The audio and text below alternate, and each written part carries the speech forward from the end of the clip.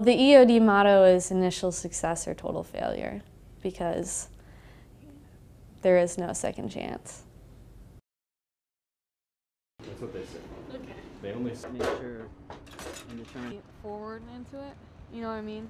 The Kosovo security forces, they grew up with these munitions in their backyard and that different lifestyle of you could possibly run into a landmine or run into a submunition in your backyard or people trying to build a fence and worrying about hand grenades. That's a completely different lifestyle than wh- what we're used to.